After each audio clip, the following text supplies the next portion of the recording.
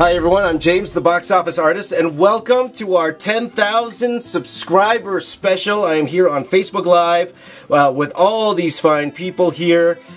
Okay, so today, today, uh, out of the suggestion of uh, the, uh, the fine uh, people here on Facebook Live, uh, we are going to do an interesting one today. We're going to do Image Comics The Maxx by Sam Kieth. We're going to draw him versus DC Comics uh, Killer Croc. Okay, so that's going to be a fun one. It's going to be a fun one. It's a lot of muscles, a lot of scale, a lot of weirdness, all together in one for this question and answer live uh, celebration here.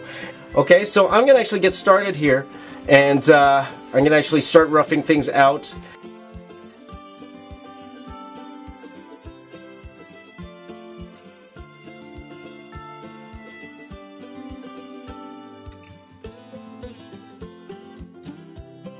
So let's uh, get to the first question, guys. Okay, and the first question, first of all, I don't know how to pronounce uh, this guy's name. He's asking, hey, I love your content, just subscribed, and I would like to know what do you work in, and if there's any memorable things you worked on. I'm thinking you work in DC Comics. I started working in comics in the year 2000 uh, for a company called Dreamwave, and I, worked as a professional comic book artist uh, full time until uh, summer 2006. That's when I decided to go into film. So I went back to school 2006, 2007. I took I took animation. I took animation at a school called Sheridan College, and then I got my first uh, gig uh, in film as a 3D modeler. So I, I started out as a modeler. Uh, I started as a modeler, and uh, my first job was in Vancouver. I worked for MGM in Vancouver. So after working in film uh, since 2006, and I worked out a bunch of titles, uh, and I, will be explaining my entire work timeline probably in a separate video. So I won't get into it too deeply, but uh, but I've worked on a whole bunch of films. I worked on Watchmen. I worked on Percy Jackson and the Lightning Thief. I worked on uh, Invictus. I worked on Battle LA. I actually worked on Furious 7, and I uh, I did I did some work on uh, Fantastic Four. That was until June this year, and that's when I quit my job.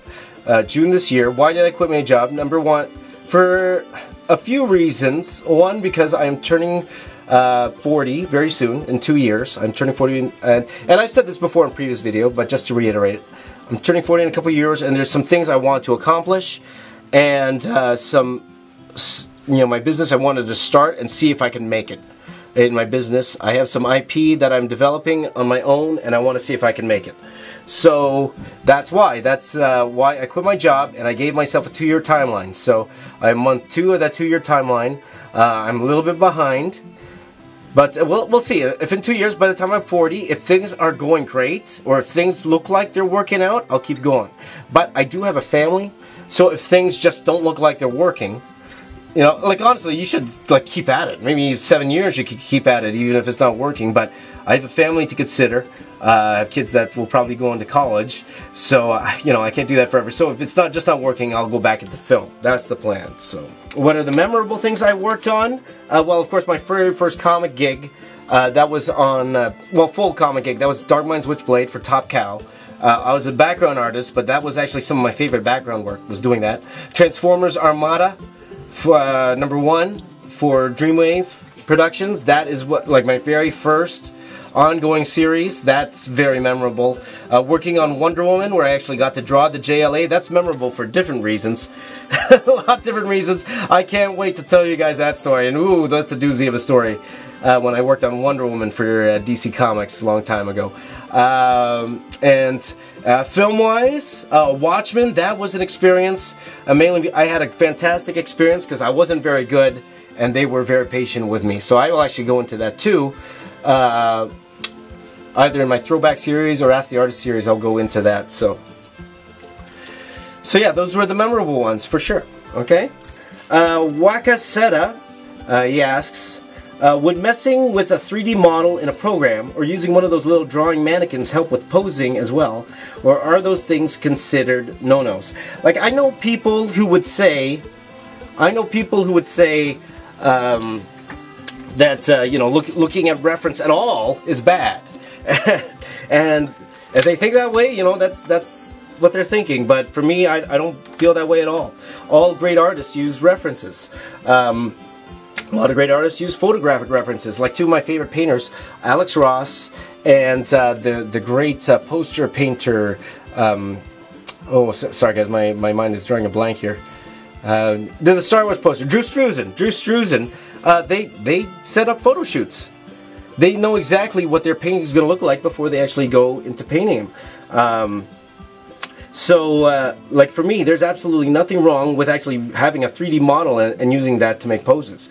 Uh, I told people, especially starting out, to get poses. Why don't you just grab grab your cell phone and take pictures of yourself or your friends and try to put them in that pose and then try to draw them posing. Nothing wrong with working from reference at all, because uh, even the most professional artists out there, they they they use them. They use them, and they help. You know, the more you know how to draw things real, no matter how cartoony your style is, the better your your your work is going to get because they will feel uh, real, no matter how cartoony your um, your drawing style is. So, so that's my answer. Yes, nothing wrong with those. You should you should do them if you have those resources. Go do them for sure.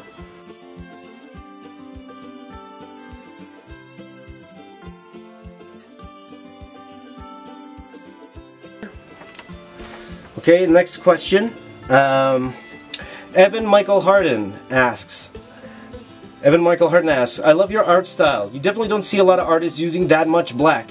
Do you co constantly get a lot of grief from collaborators like colorists about adding too much black? If so, how do you respond? The answer is yes, yes. a lot, a lot. Um, and that all started back in my Dreamwave days. When I was in Dreamwave, and they were talking about early 2000s. They were already complaining, because colorists want control, you know, they want to do their own thing. They're artists they're artists too. They're it's like they're people too. They're artists too. They want to add their own spin. The moment I add black to something, or add that, they uh, I'm controlling the lighting now, and they have no control over that. So I, I do get complaints a lot, and even when I was working, like especially working at places like Udon, and um, like they were, they once went to me, "Hey James, I got great news. You don't have to put so much black. Uh, they, you know, you don't have to do the black anymore." I'm like, "That's not good news for me." so it's just the style. I just like the control of uh, the light source, and that's the ultimate control when I when I put those blacks in. So I, I, I really love that control. Uh, so it, that does bog down the colors for sure. So a lot of them don't like coloring my work just bec because of that. And even when I was doing uh, Dark Cybertron, Dark Cybertron, uh, a lot of the fans didn't like that. They didn't like because they weren't used to my style. You know, they were used to an Alex Milne style or or uh, Casey Coller style or, or the recent Transformers artist style because mine is like completely 180 from theirs. Completely different. And I was splitting the book with somebody else, so my style actually didn't really match uh, theirs. Like mine was so different than theirs. So uh, on my last live stream, I talked about uh, it talked I talked about um, my influences and my biggest influences are I'll just mention them quickly again. Uh, my biggest influences are Stephen Platt, um, Stephen Platt, uh, Travis Charest, and David Finch. Those those three are my style wise. They are my biggest in inspirations. Even when it comes to drawing robots, I actually got draw inspirations from them. The way David Finch drew Sentinels in the X-Men, I thought that was fantastic. Uh, the way uh, Stephen Platt did his armor in Soul Saga, when he was doing Soul Saga, that was one of my biggest inspirations. And when um, Travis Charest, he did one issue of Wildcats, I think it was the Wildcats number one, where he drew this mecha tank he drew this mecha tank, and I thought it was amazing. This mecha tank, and that's where I actually got the inspiration to do all these rivets on all my robots. It was from that. I saw him put those rivets there, and I thought they looked fantastic. That's why I keep doing that to this day. Now, colorists hate uh, coloring those things too, so.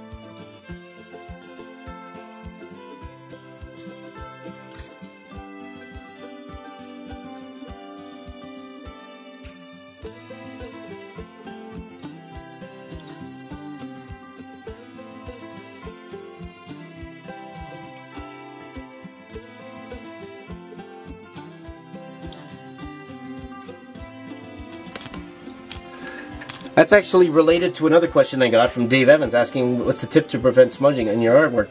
The good part about um, uh, Sharpies is they do dry quickly, so after I lay them down, if I were to go over them with my hand, uh, no problem.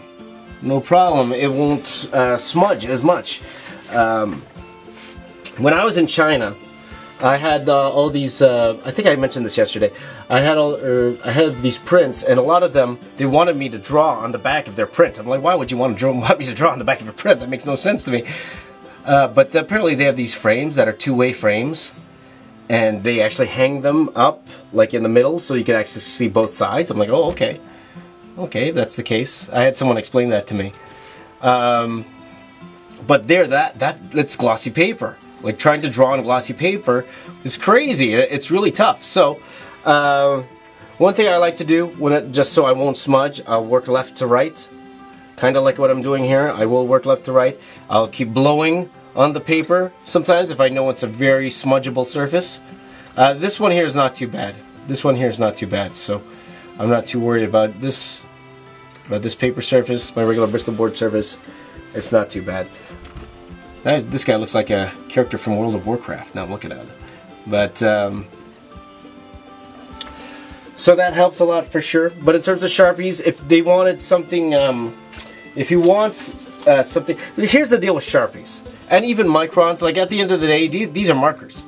These are markers at the end of the day. So over time, like right now they're okay. Over time, this will fade. Like a lot of this ink will fade and they won't be black black.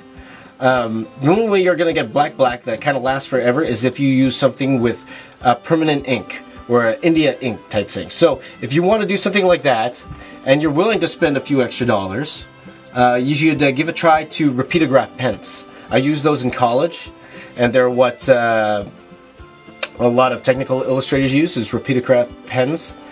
And uh, there's tricks to clean them. And they're kind of hard to clean, but it, it, it is very worth it. That you know, but it is very expensive too at the same time. So.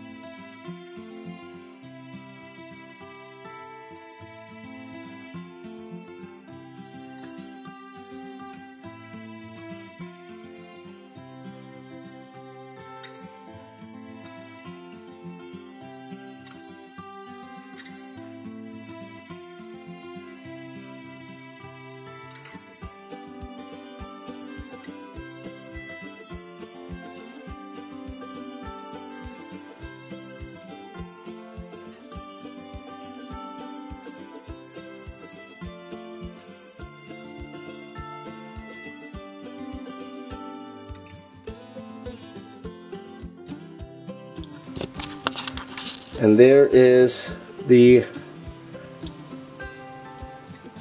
the finished drawing. Pitt versus Killer Croc protecting Julie. Okay. Yes that's true. I am planning on giving this guy away. Uh, the way to win this piece. First of all like a lot of you already are you gotta be subscribed to my channel. I would like you to share this 10,000 subscriber video on uh, whatever social networks that you have. I also want you to follow me on Twitter, on Facebook, and um, yeah, and Twitter and on Facebook and on Instagram. Okay, Snapchat if you want to, but those three: Twitter, Instagram, Facebook, and uh, and subscribe to me. And just let me know that you've done all those things, okay? And that I will randomly pick a winner. Uh, and the winner, I will send you this piece wherever you are in the world. I will send this to you as a thank you for 10,000 subscribers, okay? Thank you so much for watching. I really appreciate, again, all of you guys for subscribing. It means so much to me. And I hope I hope uh, you'll stay interested in my videos. I appreciate every single comment, even the bad ones that you leave. I take all of them to heart. Any critiques you have about my videos, any critiques you have about my artwork, I would love to hear them. And thank you all for the support. It means a lot to me. Please continue to follow me on social media, Snapchat, Instagram, um, Twitter at Box Office Artist. Follow me on Facebook at The Box Office Artist. And if you haven't already, but I think a lot of you are, please continue to subscribe to this channel. And thank you once again Really appreciate it. it. means a lot to me. My name is James. I'm the box office artist, and I'm here to say, keep drawing.